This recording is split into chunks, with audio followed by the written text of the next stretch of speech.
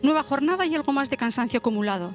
Salgo de casa pensando en que realmente va a ser un día largo, pero intenso y seguro gratificante. Acudo a la ciudad verde, Gasteiz, y voy a compartir un acto con quien es el referente del ecologismo en el país, Juancho López de Uralde. También con los compañeros de candidatura Íñigo Martínez y Gustavo Angulo y Araceli Fuente.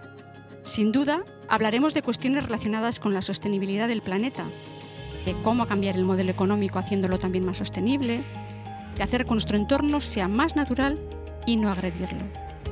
Busco siempre contactar con la naturaleza y dejar que me envuelva, que me relaje y me ayude a reflexionar.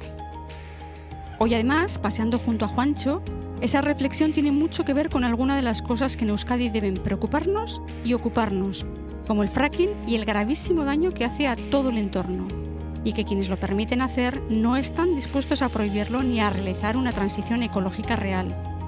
De vuelta a mi Durango, preparo el discurso dentro de la sede donde tantos debates mantenemos los integrantes de nuestro círculo.